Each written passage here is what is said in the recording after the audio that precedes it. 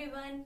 Welcome to our channel NCRT शिक्षक I M प्रभावी मिश्रा ये हम सभी देशवासियों के लिए बहुत गर्व की बात है कि पूरे वर्ल्ड में जो 12 मेगा डाइवर्सिटी कंट्रीज़ हैं, उनमें से हमारा इंडिया सिक्स पोजीशन पे आता है, क्योंकि यहाँ पे एशिया की कुछ रेयरेस्ट स्पीसीज पाई जाती हैं। और कई सारी जो ग्लोबली थ्रेटेंड स्पीसीज हैं, वो इंडिया में पाई जाती हैं। तो इसीलिए ये बायोडाइवर्सिटी के लिए रिच कंट्री है। तो ये जो ये ऑर्गेनिज्म हैं, ये जो ये प्लांट्स हैं, इनके लिए एक बहुत बड़ा थ्रेट है जो डिफॉरेस्टेशन हम लोग करते हैं। जो हमारी एक्टिविटीज़ हैं, ये उन्हें बहुत ज़्यादा हार्म पहुँचा रही है। तो आइए हम देखते हैं कि डिफॉरेस्टेशन क्या होता है। डिफॉरेस्टेशन डी मीन्स रिमूव करना और फॉरेस्टेशन मीन्स जो फॉरेस्ट है। नाम से ही हमें पता चल रहा है, जो फॉरेस्ट है, उन्हें रिमूव करना, ठीक है? Clearing of forest and using that land for other purposes जो फॉरेस्ट हैं, जो उसमें ट्रीज होते हैं, उनको काटते जाना काटते जाना और उस लैंड का किसी अदर पर्पज के लिए यूज़ करना। अब वो पर्पज क्या क्या हो सकते हैं? Procuring land for cultivation cultivation के लिए हम उस लैंड का यूज़ करते हैं। इतनी जो पॉपुलेशन बढ़ती जा रही है तो उसकी जो फ़ूड की डिमांड है, वो भी बढ़ती जा रही है। तो उस इंक्रीजिंग पॉपुलेशन को फ़ूड प्रोवाइड कराने के लिए हमें कल्टीवेशन के लिए लैंड चाहिए ना तो इसीलिए हम फॉरेस्ट को कट करते हैं। बिल्डिंग हाउसेज एंड फैक्ट्रीज ये भी हमें पता है कि हाउसेज और फैक्ट्रीज बनाने के लिए पेड़ कितनी भारी मात्रा में काटे जाते हैं। मेकिंग फर्नीचर और यूजिंग वुड एज फ्यूल तो ये भी बहुत इंपॉर्टेंट रीजन है। Some natural causes of deforestation और कुछ नेचुरल कॉज भी होते हैं, जैसे फॉरेस्ट फायर्स जंगलों में जो आग लग जाती है, जिसे हम दावानल कहते हैं तो उसमें भी पूरा पूरा फॉरेस्ट तबाह हो जाता है। एंड सीवियर ड्रॉट्स जो सूखा पड़ जाता है ना, एक बड़े लेवल पे तो वो उसकी वजह से भी सब जंगल तबाह हो जाते हैं। तो अब ये जो ये इतना ज़्यादा लेवल पे जो डिफॉरेस्टेशन हो रहा है, इसके कॉन्सिक्वेंसेस क्या है? आइए देखते हैं। Deforestation increases the temperature and pollution level on earth हम जानते ही हैं कि ये जो ट्रीज होते हैं, ये एयर पोल्यूशन नॉइज़ पोल्यूशन इन्हें कम करने में बहुत ही ज़्यादा हमारी हेल्प करते हैं, है ना? तो अब अगर फॉरेस्ट ही नहीं रहेंगे, पेड़ ही नहीं रहेंगे तो पोल्यूशन का लेवल अर्थ पे बढ़ जाएगा ना? और साथ ही साथ टेम्परेचर भी अर्थ का इंक्रीज हो जाएगा। भाई पोल्यूशन बढ़ेगा तो टेम्परेचर भी इंक्रीज होगा। It increases CO two CO two means carbon dioxide carbon dioxide in the atmosphere which causes global warming देखिए, हमें पता है कि जो प्लांट्स होते हैं, जो भी कार्बन डाइऑक्साइड हम लोग एक्सहेल करते हैं। सांस लेने के दौरान हम ऑक्सीजन लेते हैं कार्बन डाइऑक्साइड निकालते हैं तो उस कार्बन डाइऑक्साइड को प्लांट्स ले लेते हैं और वो लाइट की प्रेजेंस में, जब सनलाइट होती है सनलाइट के प्रेजेंस में अपना फ़ूड बनाते हैं ना, अब जब प्लांट्स नहीं रहेंगे तो CO2 को कौन एब्जॉर्ब करेगा? जब CO2 को कोई एब्जॉर्ब करने वाला नहीं रहेगा तो एटमॉस्फेयर में कार्बन डाइऑक्साइड का लेवल बहुत ज़्यादा बढ़ जाएगा और जिससे हमारी जो अर्थ है, उसका टेम्परेचर बहुत ज़्यादा इंक्रीज हो जाएगा और वो ग्लोबल वार्मिंग कॉज करता है, जिसके बारे में हमने पिछले चैप्टर में डिटेल में पढ़ा था। अब हम देखते हैं कि और क्या क्या परिणाम हो सकते हैं डिफॉरेस्टेशन के। बेटा, ये बहुत इंपॉर्टेंट है, आप इन्हें ज़रूर लिख लीजिए। ये आपके जो एक्सरसाइज में क्वेश्चन आंसर्स हैं, उनमें भी काम आएगा और हायर लेवल तक आपको काम आता है, अगर आप इन्हें समझ लेते हैं अच्छे से तो। Ground water level also get lowered जो ग्राउंड वाटर है, उसका भी लेवल गिर जाएगा। कैसे? अब हमें पता है, आप किसी बेयर ग्राउंड जो होता है, वहाँ पे आप पानी डालकर देखिए, वो क्या होता है? वो पूरा का पूरा पानी बह जाएगा। अब अगर वहाँ पे घास है ट्रीज हैं प्लांट्स हैं तो वहाँ पे पानी रुक जाता है। और जब एक जगह पे पानी रुकेगा, तभी तो वो ज़मीन के अंदर जाएगा और वो ग्राउंड वाटर लेवल इंक्रीज करेगा, है ना? Deforestation disturb balance in nature हमने क्या पढ़ा कि सारे के सारे जो प्लांट्स हैं, जो एनिमल्स हैं, वो आपस में एक दूसरे से इंटरकनेक्टेड है है ना? तो अब अगर प्लांट्स नहीं रहेंगे तो जो इकोलॉजिकल बैलेंस है, वो पूरा डिस्टर्ब हो जाएगा। Many species of animals and plants become threatened और extinct due to it deforestation की वजह से, अब देखिए, हमने जंगल काट दिए। जंगल जो है, वो कई सारे एनिमल्स का घर है। अब हम उनसे उनका घर छीन लेंगे तो वो खतरे में आ जाएँगे ना। अब वो कहाँ जाएँगे, कहाँ रहेंगे, उनको खाना पानी कहाँ से मिलेगा? तो वो तो वो एंडेंजर्ड हो जाते हैं। वो खतरे में आ जाते हैं, ठीक है? और कई सारे एक्सटिंक्ट हो गए हैं। यानी गायब ही हो गए हैं। अब उनकी स्पीसीज अब उनकी प्रजाति हमारी अर्थ पर बची ही नहीं है। ऐसी भी कई सारी स्पीसीज है। तो आप समझ सकते हैं कि डिफोरेस्टेशन से कितना बड़ा खतरा है। It affects the rainfall and also fertility of soil decreases ठीक है? अब देखिए, ये रेनफॉल को भी अफेक्ट करते हैं। रेनफॉल घट जाता है और ये सॉइल की फर्टिलिटी को भी घटा देते हैं। फर्टिलिटी हमें पता है कि जो ह्यूमस है, वो या जो फर्टाइल लेयर है सॉइल की, वो कैसे बनती है? जब अर्थ पर ऑर्गेनिक मैटर जैसे कि लीव्स हैं या एनिमल्स हैं प्लांट्स हैं, वो गिरते हैं तो वही डिकम्पोज होकर के ह्यूमस बनते हैं जाकर के, और वो सॉइल की फर्टिलिटी के लिए रिस्पॉन्सिबल होता है। अब जब प्लांट्स ही नहीं रहेंगे तो ह्यूमस कैसे बनेगा? तो ये सॉइल की फर्टिलिटी को भी डिक्रीज करते हैं।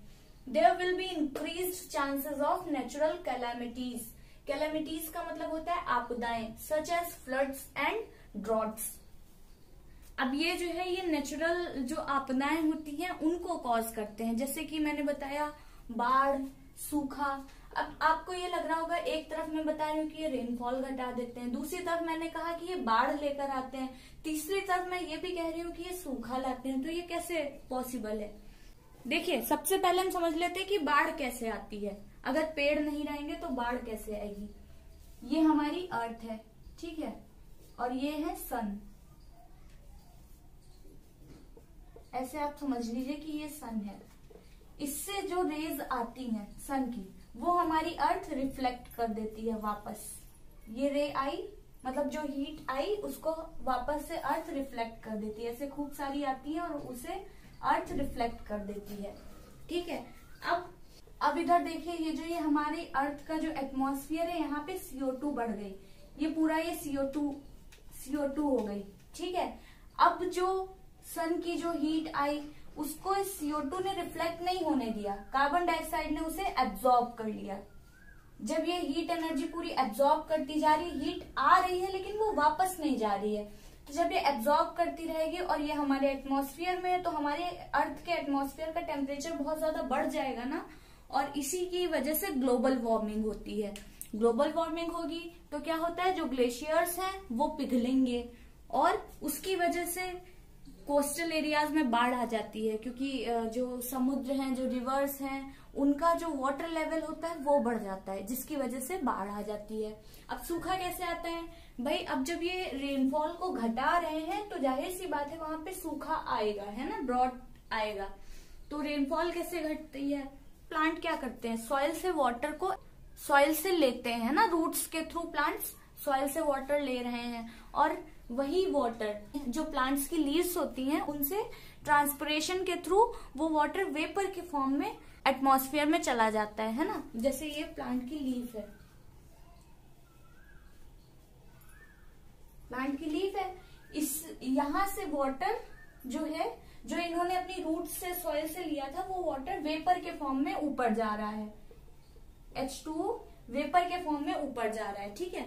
वो जब वेपर ऊपर जाती है तो ऊपर ठंडा है, जब कूल टेम्परेचर मिलता है तो वो क्लाउड बना लेती हैं। और फिर वही बारिश होकर के कंडेंसेट होंगी कंडेंसेट होंगी मतलब वो जो वो वेपर्स हैं, वो वाटर ड्रॉप्स में कन्वर्ट होंगी। और फिर वही वाटर ड्रॉप्स नीचे आएँगी बारिश के फॉर्म में। अब जब पेड़ ही नहीं रहेंगे तो ट्रांसपोरेशन कहाँ से होगा? वेपर के फॉर्म में पानी ऊपर कैसे जाएगा? वो नहीं जा पाता है ना इतना ज़्यादा मात्रा में। ओशन वगैरह है, वहाँ से थोड़ा थोड़ा इवेपोरेशन होगा, लेकिन सबसे ज़्यादा प्लांट्स के थ्रू जाता है ऊपर ट्रांसपरेशन में। तो जब ट्रांसपरेशन ही नहीं हो पाएगा तो पानी है, वो ऊपर नहीं जा पाएगा, है ना? वेपर के फॉर्म में। और जब ऊपर ही नहीं जा पाएगा तो वो ऊपर कंडेंसेट होकर के रेन के रेन के रूप में नीचे कैसे आएगा? तो ये पूरी की पूरी जो वाटर साइकिल है, जो मैंने आपको समझाई थी पहले तो ये वाटर साइकिल को ही डिस्टर्ब कर देता है पूरी तरीके से। मैंने आपको जियोग्राफी के चैप्टर नंबर टू में वाटर साइकिल आपको समझाई थी। तो जब वाटर साइकिल डिस्टर्ब हो जाती है तो उसकी वजह से रेनफॉल डिक्रीज हो जाती है। It decreases water holding capacity of the soil जो प्लांट होते हैं, उनकी जो रूट्स होती हैं, वो सॉइल को बांधे रखती हैं, है ना? सॉइल को बहने नहीं देती हैं। तो उससे सॉइल की जो वाटर होल्डिंग कैपेसिटी है, वो भी इंक्रीज होती है। जब प्लांट्स नहीं रहेंगे तो वाटर होल्डिंग कैपेसिटी डिक्रीज हो जाती है। Fewer trees result in more soil erosion आपने देखा ही है कि जो बेयर ग्राउंड होते हैं, वहाँ पे सॉइल इरोजन बहुत ज़्यादा होता है। जैसे पानी आया या तेज हवा आई तो मिट्टी उसी के साथ बह गई या उड़ गई तो मिट्टी का कटान बहुत ज़्यादा होता है। इट कॉजेस डेजर्टिफिकेशन ये डेजर्ट में जो फर्टाइल लैंड है, उसे डेजर्ट में कन्वर्ट कर देना, यही होता है डेजर्टिफिकेशन फॉरेस्ट जब नहीं होंगे तो डेजर्टिफिकेशन हो जाता है। कैसे होता है? अभी हम प्रोसेस को समझेंगे।